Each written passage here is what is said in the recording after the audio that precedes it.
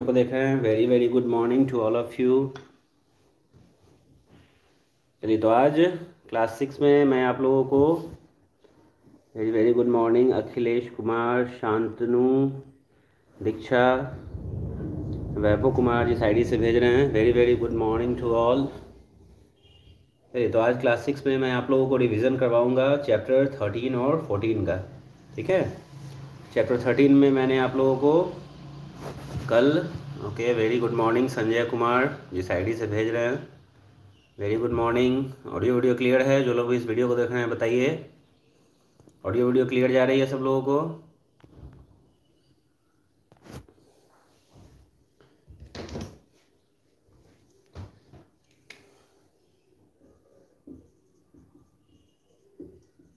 Revision of chapter thirteen and fourteen thirteen जो कि आपका जेंडर और फोर्टीन है आपका केस ऑफ़ द नाउन ठीक है? ओके प्रकाश कुमार चलिए ओके बताइए ऑडियो वीडियो सब लोग क्लियर जा रही है? पूरा बोर्ड दिख रहा है?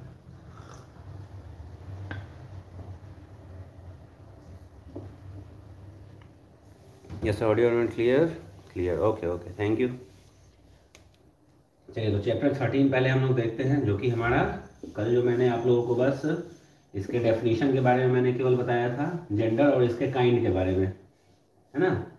कल मैंने जो topic gender good morning Om Prakash Suman जिस आईडी से भेज रहे हैं। गुड मॉर्निंग तो जेंडर में मैंने आप लोगों को कल केवल जेंडर के टाइप्स मैंने बताए थे कि मेनली जेंडर के जो होते हैं, वो चार टाइप्स होते हैं। मैस्कुलिन जेंडर जो मेल को डिनोट करता है gender which denote male is called masculine gender जो फेमनिन को डिनोट करे, वो फेमनिन जेंडर फीमेल को डिनोट करे। कॉमन जेंडर जो क्या होगा? मेल और फीमेल आइदर मेल और फीमेल या तो मेल होगा या फीमेल होगा, दोनों में से कोई हो सकता है। जैसे चाइल्ड हो गया बेबी हो गया टीचर हो गया डॉक्टर हो गया स्टूडेंट हो गया। ये सब क्या होते हैं? मेल और फीमेल दोनों हो सकते हैं। तो ये हमारा हो गया कॉमन जेंडर ठीक है? और न्यूट्रल जेंडर में लाइफलेस ऑब्जेक्ट आता है नॉन लिविंग थिंग्स जैसे pen copy book computer, laptop, mobile these are neutral gender which are lifeless object ठीक है? तो ये चार पॉइंट चार मैंने डेफिनेशन आप लोगों को कल बताया था वनली नेक्स्ट हम लोग अब देखते हैं formation of the family gender कैसे मैस्कुलिंग से फैमिली में हम लोग कन्वर्ट करते हैं? हाँ वुड लकड़ी। लकड़ी भी क्या है हमारा? न्यूट्रल जेंडर है, ठीक है? तो अब हम लोग देखते हैं formation of family gender formation of feminine gender कैसे हम लोग मैस्कुलिन से फेमिनिन में कन्वर्ट करेंगे? तो इसके कुछ सिंपल से रूल हैं, जो ज़्यादातर स्टूडेंट को पता भी होगा। देखिए। तो सबसे पहला रूल है बाय चेंजिंग द वर्ड बिल्कुल वर्ड ही बदल जाता है। बाय चेंजिंग ऑफ़ वर्ड ठीक है? वर्ड को बदल के ही हम लोग मैस्कुलिन से फैमिली में कन्वर्ट कर देते हैं, ठीक है? जैसे फॉर एग्जांपल देखिए चेंजिंग ऑफ़ तो ये बहुत सारा आप लोगों को पता होगा, जैसे आप लोगों को मैं यहाँ पे कुछ लिखता हूँ, आप बताइएगा। जैसे फ़र्स्ट हो गया आपका हस्बैंड हस्बैंड का फेमनाइन क्या होता है, आप लोगों को पता ही है। हस्बैंड का क्या होगा? वाइफ ठीक है? फिर हम लोग यहाँ पे लेते हैं।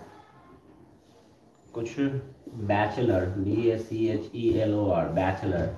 Bachelor का फैमिली जेंडर क्या होगा बताइए? बैचलर का? या तो आप बैचलर का मेड लिख सकते हो, या स्पिंस्टर स्पिंस्टर ठीक है? Spinster S P I N S T R यहाँ पे आई नहीं होगा। स्पिंस्टर है ना? बैचलर का इंस्पिस्टर बैचलर मतलब कुंवारा इंस्पिस्टर मतलब कुंवारी। ठीक है? इस तरह से हम लोग मेल और फीमेल करते हैं, ठीक है? बहुत ज़्यादा है।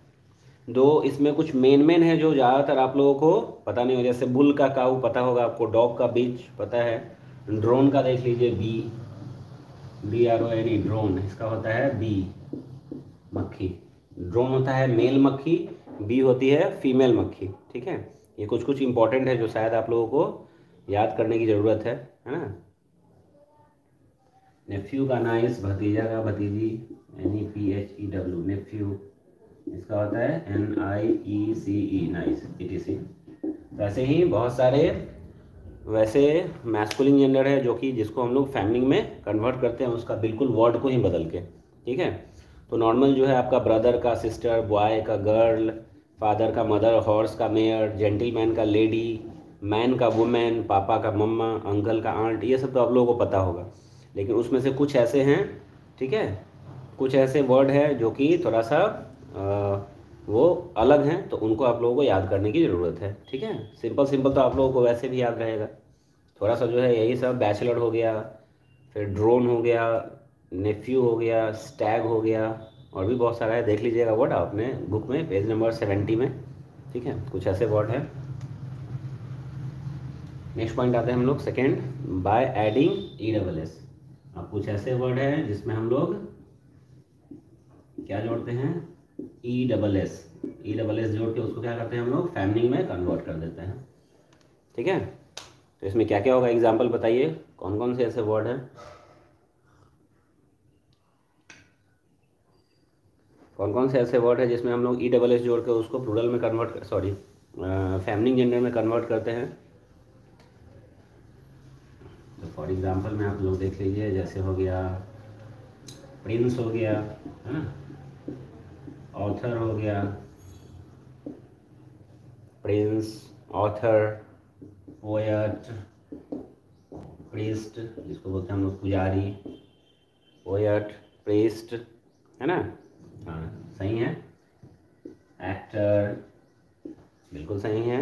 एक्टर और बताइए? लायन गॉड ठीक है? ये कुछ ऐसे हैं जिसको हम लोग डबल एस उसको जोड़ के प्लूरल में कन्वर्ट करते हैं, ठीक है? हाँ by adding E double S ये क्या है? वैक्सेज ये वैक्स क्या लिखे हो? खुशबू जिस आईडी से भेज रहे हो, ये वैक्स क्या होता है? वैक्स मतलब तो तंग करना होता है। वैक्स जो है वो क्या है? हाँ ठीक है, चलो। प्रिंस में, प्रिंस हो जाएगा प्रिंसेज राजकुमारी, ऑथर का ऑथरेस हो गया। ठीक है, पोएट का पोएटेस, प्रिस्ट का प्रिस्टेस पुजारियन जिसको बोलते हैं, एक्टर का एक्ट्रेस, अभिनेत्री, लायन का लायनेस, गॉड का गॉडेस। ठीक है, इस तरह से ये कुछ ऐसे फैमिली मैस्कुलिन जेंडर है जिसको फैमिली में कन्वर्ट करने के लिए ई डबल एस जोड़ते हैं।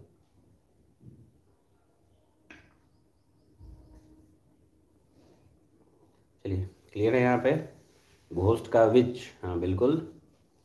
तो ये तो फ़र्स्ट वाला ही था। यहाँ पे मैं ई डबल एस का बता रहा हूँ। Authoress poetess actress lioness goddess बिल्कुल सही है, खुशबू। चलिए क्लियर है। नेक्स्ट रूल हम लोग लिखते हैं थर्ड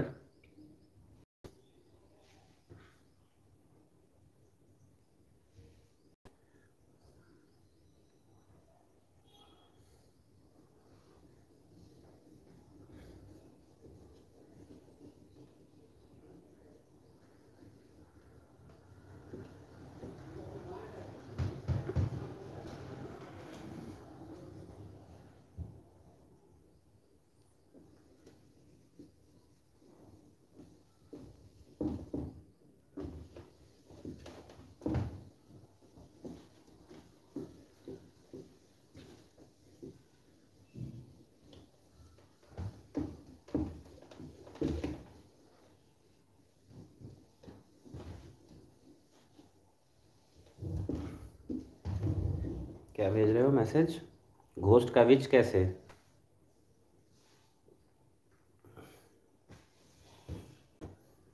घोस्ट का विच, क्योंकि घोस्ट मतलब भूत होता है, विच मतलब डायन होता है, मेल और फीमेल। ठीक है, इस तरीके से। चलिए आगे देखते हैं, third. By dropping the word dropping the vowel and adding E double S ठीक है? नेक्स्ट है.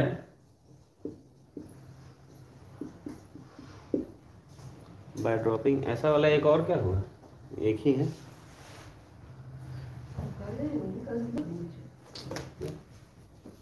देखिए by dropping the vowel by dropping the vowel vowel को हटा देना है and adding E double S और उसमें तब ई डबल एस जोड़ना है। एडिंग ई डबल एस ठीक है? वॉवेल को हम लोगों को हटाना है और उसमें तब ई डबल एस जोड़ना है। ठीक है? जैसे फॉर एग्जांपल देखिए क्या क्या है? जैसे उसमें आ गया एक्टर अभी आप लोग इसमें देखे थे, इसमें आप लोग उसी में दे दिए थे एक्टर जबकि इसमें होगा एक्टर क्योंकि इसमें ओ हटा देते हैं। क्या लिखते हैं? ए सी टी आर तब इसमें ई डबल एस जोड़ते हैं। इसका एग्ज़ाम्पल आप पहले वाले में ही दे दिए थे। ठीक है? बाय ड्रॉपिंग द वॉवेल तब एडिंग ई डबल एस ठीक है? उसमें एक्टर होता है। वैसे इसमें टाइगर भी हो जाता है। टी आई जी या टाइगर इसमें ई को हटा देते हैं। टी आई जी आर ही लिखते हैं। तब ई डबल एस मतलब यहाँ पे जो भोवेल ई है, उसको हम लोग रिमूव कर देते हैं। तब ई डबल एस जोड़ते हैं। तो टाइगर का हो जाएगा टाइग्रेस ऐसे यहाँ पे हो गया हंटर हंटर हो गया, फिर यहाँ पे हो गया इंस्पेक्टर ठीक है? ये सब जितने भी वर्ड है, उसमें लास्ट में आर के पहले जो, इन सब में हाँ वॉवेल पहचानना होता है। वॉवेल पहचान कर वॉवेल को आपको हटाना है ए आई ओ यू जो हो, उस वॉवेल को हटा के, तब उसमें ई डबल एस जोड़ना है। जैसे हंटर है तो एच यू एन टी यहाँ से ई e हटा देना है, केवल आर लिख के ई डबल एस इंस्पेक्टर में भी वही है। इंस्पेक्ट्रेस वो हटा देना है, ठीक है? तो यहाँ पे वॉवेल को हटा के तब ई डबल एस जोड़ना है, ठीक है? बहुत ही इजी है। चलिए नेक्स्ट देखते हैं हम लोग। नेक्स्ट नेक्स्ट जो है वो मिसलेनियस है मतलब ये कोई रूल को फॉलो नहीं करेगा, ठीक है? अलग अलग अलग अलग है। मिसलेनियस में ये किसी रूल को फॉलो नहीं करेगा, सबका अलग अलग हो जाता है, ठीक है? जैसे देखिए, ये आप लोगों को याद ही करना होगा, ये किसी रूल पे नहीं है कि आप रूल फॉलो कर लोगे और वो आपको याद हो जाएगा, ठीक है? जैसे इसमें आता है इम्पेरर इम्पेरर तो इम्पेरर का होता है empress E M P R E double S empress इसमें हीरो का लिखिएगा। तो क्या हो जाएगा? हीरोइन है ना? ये सब मिसलिनियस में आता है। जैसे हो गया मिस्टर का लिखिए ब्राइड ग्रूम का लिखिए। ठीक है? ये सब मिसलेनियस में है। फिर यहाँ पे हो गया गवर्नर ये किसी रूल को फॉलो नहीं करता है। इन सबको आपको क्या करना होगा? याद ही रखना होगा। मिस्टर लिखे, मिस्टर का मिसेज होगा मिस्ट्रेस नहीं। ब्राइड ग्रूम का केवल ब्राइड होगा। ब्राइड ग्रूम मतलब दुल्हन ब्राइड मतलब दुल्हा उल्टा बोल दिए। ब्राइड ग्रूम मतलब दुल्हा ब्राइड मतलब दुल्हन। ठीक है? हाँ बिल्कुल लिख लीजिए। लिखने के लिए तो लिखवा रहे हैं। फॉक्स का क्या हो जाता है? वो लिखिए। गवर्नर का हो जाएगा governess govern G O B R N E double S fox का तो पता ही आप लोगों को विक्शन फॉक्स का फीमेल होता है विक्शन मास्टर का हो जाता है मिस्ट्रेस या मिस मास्टर का आप लोग लिख सकते हैं मिस्ट्रेस है ना?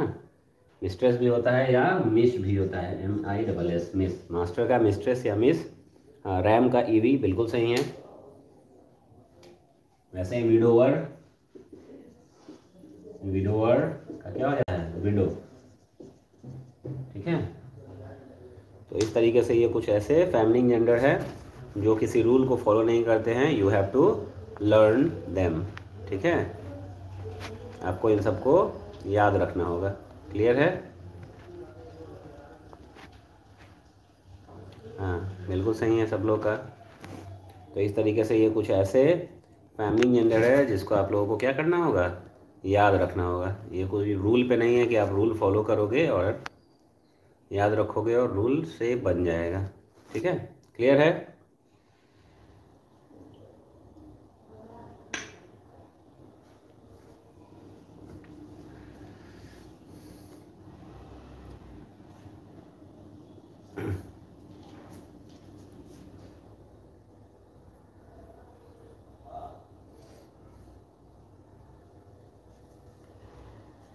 चलिए अब ये कौन है? वरुण भारद्वाज इतना देर से क्लास ज्वाइन किया हो अभी बोल रहे हो good morning why are you so late चलिए आगे हम लोग देखते हैं। यहाँ तक क्लियर है? कोई और एक्स्ट्रा कपड़ा है तो दो ना। ये तो भींगा हुआ है। इसे पूछ दें। हम्म?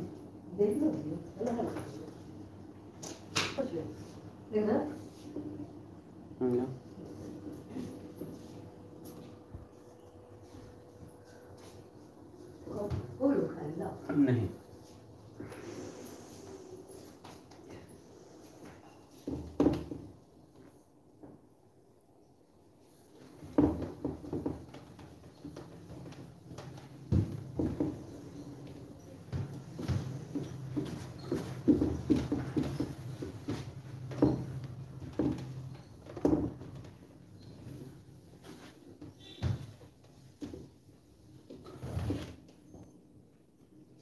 चलिए अब हम लोग पॉइंट देखते हैं जो नोट में यहाँ दिया हुआ है। ठीक है? सर, हम जो पूछ रहे हैं, आप बता नहीं रहे हैं। क्या पूछी बताया नहीं? घोष्ट का जो विच बताएँ तो। घोस्ट मतलब भूत होता है विच मतलब डायन होता है। बिल्कुल सही है। क्या नहीं बताया? आयुषी, मैंने बताया तो। आप घोस्ट और विच का ही ना पूछ रहे थे। बताया तो मैंने। घोस्ट मतलब भूत और विच मतलब डायन। तो मेल और फीमेल क्यों नहीं हो सकता है? बिल्कुल हो सकता है। चलिए नोट में कुछ लिख लीजिए।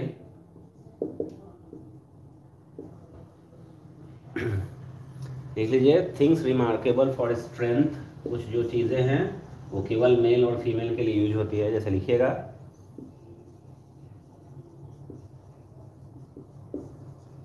रिमार्केबल फॉर स्ट्रेंथ स्ट्रेंथ मतलब जिससे साहस का जिससे साहस का बोध हो, वैसा चीज़ से साहस साहस का बोध हो ग्रेटनेस मतलब महानता का बोध हो, ठीक है? एंड वायलेंस और हिंसा का। वायलेंस है ना? हिंसा का बोध हो, ठीक है? इटीसी तो एज अ रूल लिखिएगा इसको रूल के हिसाब से इसको हम लोग मैस्कुलिन मानते हैं, ठीक है? As a rule considered masculine gender इसको हम लोग मैस्कुलिन जेंडर मानते हैं। क्या क्या वायलेंस का अगर हो स्ट्रेंथ का ग्रेटनेस स्ट्रेंथ का मतलब होता है साहस, ठीक है? हाँ। स्ट्रेंथ का होता है साहस, ठीक है? तो वैसा वर्ड जिससे स्ट्रेंथ का क्या हो? बोध हो स्ट्रेंथ मतलब साहस का ग्रेटनेस मतलब होता है महानता का वायलेंस मतलब हिंसा का बोध हो, तब उससे हम लोग क्या करेंगे? उसको हम लोग मैस्कुलिंग मानेंगे। जैसे फॉर एग्जांपल देखिए स्ट्रेंथ मतलब जैसे अगर इसमें आ गया विंड हवा तो बहुत तेज हवा बहती है तो उसमें क्या होता है? स्ट्रेंथ होता है। अगर हवाएँ तेज बहेंगी तो उसमें क्या होगा? स्ट्रेंथ होगा, बहुत ही ज़्यादा साहस होगा, बहुत तेज़ी से बहता है। तो इसको हम लोग क्या मानेंगे? मैस्कुलिंग जेंडर विंड जहाँ पे यूज़ होगा मैस्कुलिंग फिर वैसे ही हो गया विंटर ये भी हमारा मैस्कुलिन जेंडर ही होगा विंटर फिर ठंडर हो गया ठंडर मतलब जो ठंडा ठंडता है, ये भी हमारा मैस्कुलिन जेंडर में ही आएगा, ठीक है? सन इसमें ग्रेटनेस का फील हो रहा है शन फिर वैसे ही हो गया वार युद्ध इसी तो ये सब वर्ड जिससे हम लोगों को क्या हो गया वार से क्या हो गया? वायलेंस का सेंस आया वार मतलब क्या होता है? युद्ध तो उससे वायलेंस का सेंस आया तो जिससे भी हम लोगों को स्ट्रेंथ वायलेंस का सेंस आया जिस वर्ड से, उस वर्ड को हम लोग मैस्कुलिंग मानेंगे। नोट नंबर टू में लिख लीजिए। अब ऐसा वर्ड जिससे ब्यूटी है ना? थिंग्स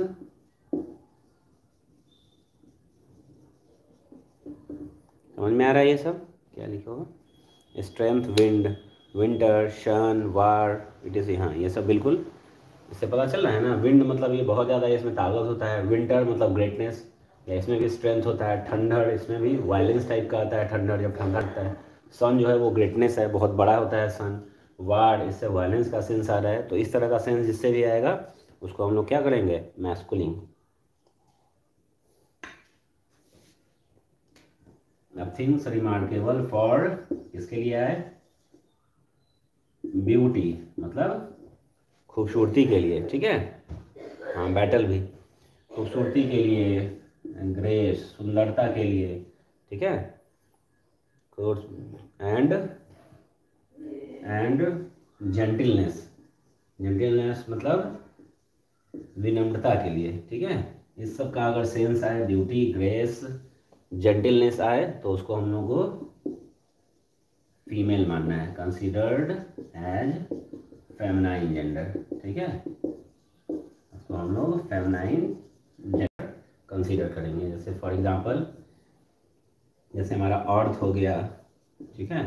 अर्थ क्या होता है? शांत होता है। ये जेंटिलनेस से इसका बोध हो रहा है अर्थ अर्थ हमारा क्या है? जेंटिलनेस इसका बोध हो रहा है। फिर मून चाँद। चाँद को हम लोग बहुत सुंदर बोलते हैं तो ये सुंदरता का बोध हो रहा है।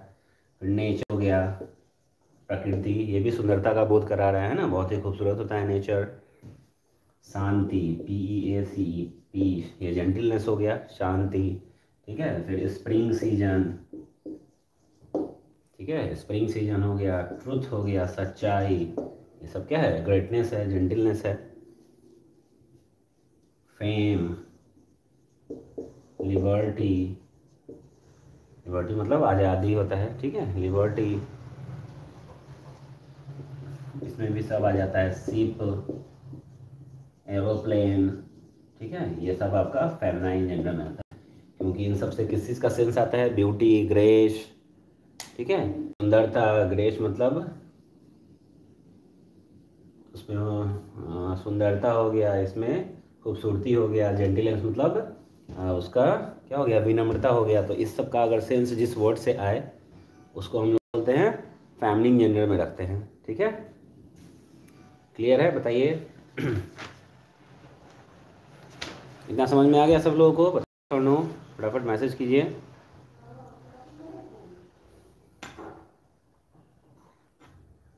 तो मैं आप लोगों को नेक्स्ट चैप्टर स्टार्ट करता हूँ जो कि है केस ऑफ़ नाउन यहाँ तक क्लियर है सब लोग बताइए। जो लोग भी इस वीडियो को देख रहे हैं हाँ अखिलेश ठीक है फ्रीडम ओके हम्म, तो इसका जो भी एक्सरसाइज है, आप लोग ट्राई कीजिएगा। मैस्कुलिन से फैमिली में कन्वर्ट करना है, ज़्यादा कुछ है नहीं। नेक्स्ट हम लोग देखते हैं चैप्टर फोर्टीन जो कि है केस ऑफ़ नाउन ठीक है?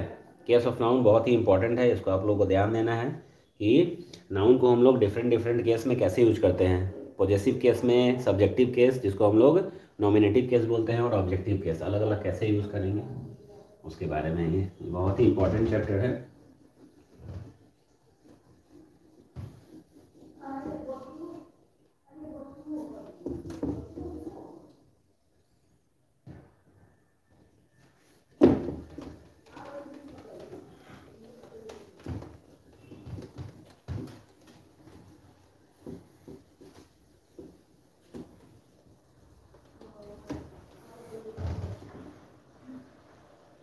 चले। नेक्स्ट हम लोग फोर्टीन चैप्टर जो कि है केस ऑफ़ नाउन ठीक है? केस का मतलब होता है कारक। केस ऑफ़ नाउन ठीक है? तो केस ऑफ़ नाउन करता क्या है? लिखिएगा। इसको case of noun shows the case of noun relation show करता है हाँ चैप्टर फोर्टीन है। Case of noun case of noun और प्रोनाउन का भी केस होता है तो और प्रोनाउन का भी लिख लीजिए। केस ऑफ़ नाउन और प्रोनाउन शोज़ इट्स रिलेशन क्या दर्शाता है तो show its relation to other word in a sentence ठीक है? To other words in a sentence किसी भी नाउन या प्रोनाउन का जो केस होता है केस का मतलब क्या हो गया? कारक। ठीक है? ये कारक जो है वो सेंटेंस में दूसरे वर्ड से इसका रिलेशन दर्शाता है। रिलेशन की मतलब रिलेशन का मतलब क्या होगा कि करने वाला वहाँ पे कौन है? ठीक है? अगर सेंटेंस में कोई काम करने वाला मौजूद है तो वो किस केस में होगा? नॉमिनेटिव केस में। ठीक है? नाउन में pronoun so its relation to other word nominative में होगा। फिर अगर कोई नाउन या प्रोनाउन किसी भी दूसरे नाउन और प्रोनाउन पे क्या करे? अपना अधिकार दिखाएँ तो उसको बोलते हैं हम लोग पॉजिटिव केस और वो जो आ, क, वो जो जिसका मतलब कोई भी काम हुआ एक्शन हुआ उसका इफ़ेक्ट जिस पे पड़ेगा वो उसको जो दर्शाए वो होगा हमारा ऑब्जेक्टिव केस ठीक है? तो इस तरीके से तीन तरह के केस होते हैं। तो लिख लीजिएगा यहाँ पे। There are three types of case ठीक है? नाउन और प्रोनाउन के तीन तरह के केस होते हैं। सबसे पहला, जिसको हम लोग नॉमिनेटिव केस बोलते हैं।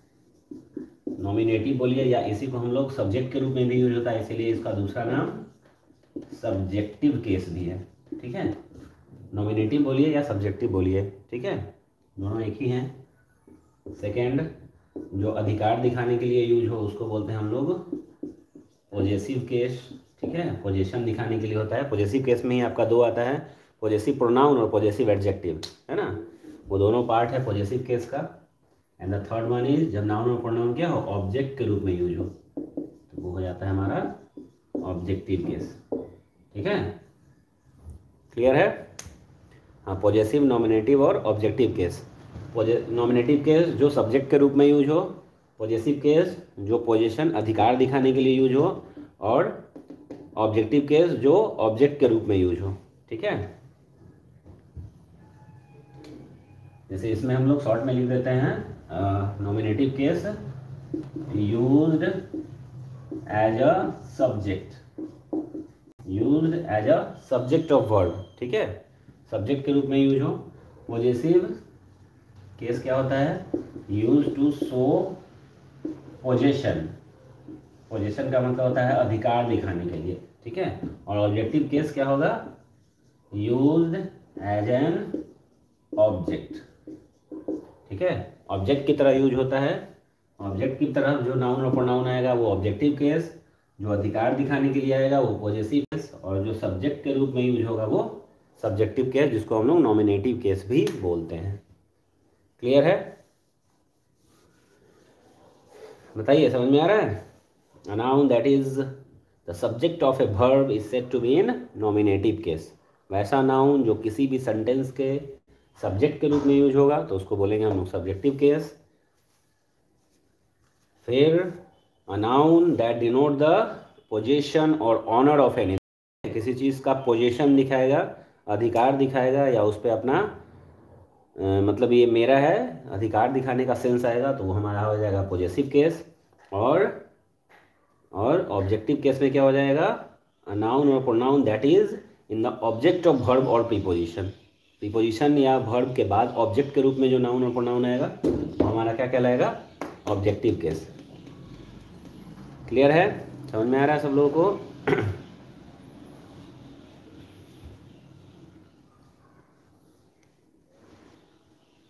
तो ये तीनों केस जो होता है वो नाउन का भी होता है और प्रोनाउन का भी होता है, ठीक है? नाउन का भी केस होता है और प्रोनाउन का भी होता है। तो नाउन के केस में हम लोग अलग अलग कैसे यूज़ करेंगे? मतलब सब्जेक्टिव में रहेगा तो क्या यूज़ करेंगे? पॉजिटिव में जाएगा तो वहाँ पे किस तरह का उसका फॉर्मेशन होगा और ऑब्जेक्ट में जाएगा तो किस तरीके से? दोनों का अलग अलग फॉर्म होता है। नाउन अगर हम लोग यूज़ करेंगे नॉमिनेटिव पॉजिटिव और ऑब्जेक्टिव में तो अलग तरीके से प्रोनाउन का यूज़ करेंगे तो ये तीनों केस में उसका फॉर्मेशन क्या होगा? चेंज होते रहता है। ठीक है?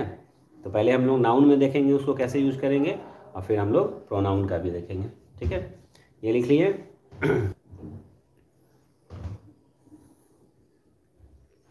तो पहले हम लोग नाउन का देख लेते हैं, ठीक है? ओके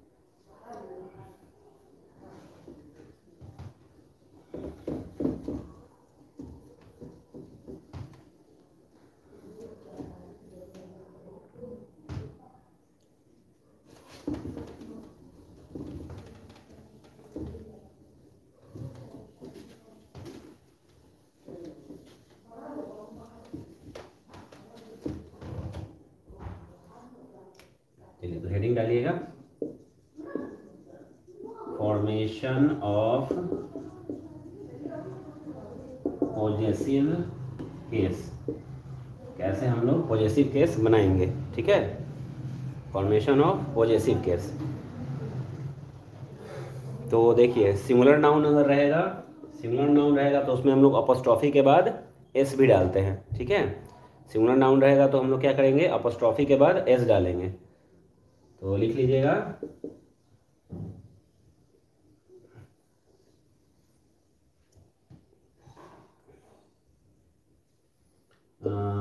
बाय एडिंग ऐसे लिखिएगा।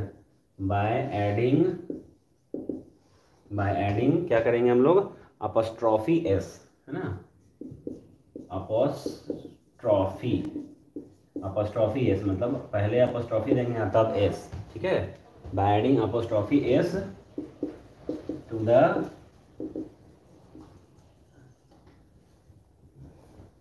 to the singular noun ठीक है? To the singular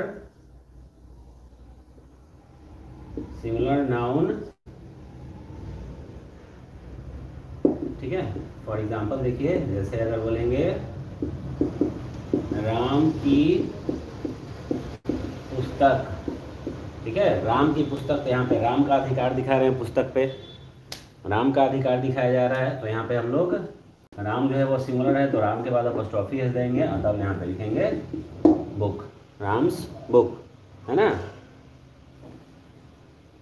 वैसे ही हम लोग देंगे, पिताजी की घड़ी, है ना?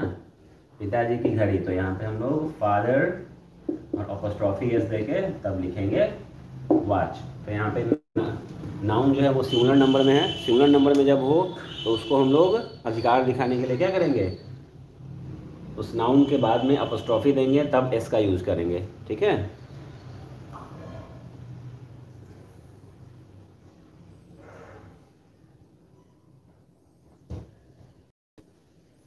ये तो हो गया सिंगुलर के लिए। लेकिन प्लूरल नाउन के लिए भी हम लोग क्या करते हैं, वैसा प्लूरल नाउन जिसका लास्ट लेटर एस पे ख़त्म हो, उस उस, इस पे नहीं ख़त्म होता है, उसमें भी हम लोग अपस्ट्रॉफी एस ही जोड़ते हैं। ठीक है? तो लिखिएगा। Those those plural nouns which do not end with which do not end with letter S वैसा प्लूरल नाउन जो बहुत सारे ऐसे प्लूरल होते हैं जिसमें हम लोग एस आई एस जोड़ के उसको प्लूरल बनाते हैं। लेकिन कुछ ऐसे प्लूरल नाउन होते हैं जिसका लास्ट लेटर एस पे ख़त्म नहीं होता है।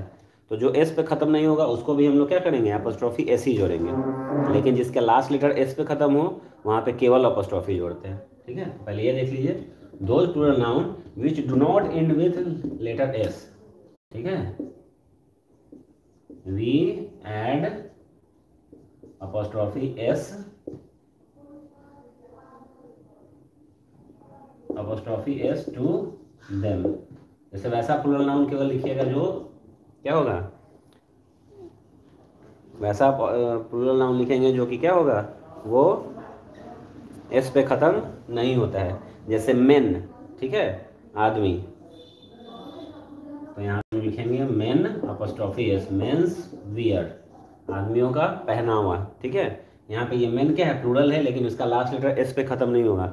तो उसके साथ अपोस्ट्रॉफी एस भी जोड़ेंगे, ठीक है? जैसे बच्चों का खिलौना तो क्या लिखेंगे? चिल्ड्रेन अपोस्ट्रॉफी एस तब ट्वाइज ठीक है? चिल्ड्रेन अपोस्ट्रॉफी एस ट्वाइज बच्चों का खिलौना। इस तरीके से ये वैसे कुछ प्लूरल नाउन हैं, जो कि एस तब नहीं होते हैं। लास्ट लेटर एन है तो जब उस पर हम लोग अपोस्ट्रॉफी के बाद एस का भी यूज़ करेंगे, ठीक है? यहाँ तक क्लियर है सब लोगों का? बताइए यस और नो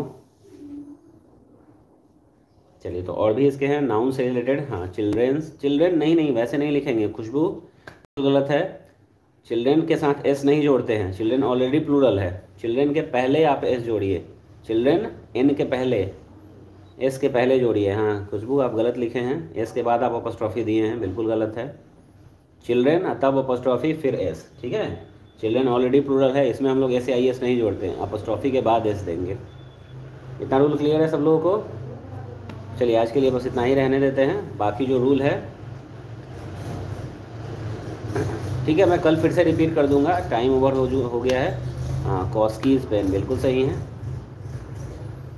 तो बाकी के रूल नाउन से रिलेटेड और प्रोनाउन से रिलेटेड और भी पॉजिटिव केस है, वो मैं आप लोगों को कल और डिटेल में इसको बताऊँगा। ठीक है?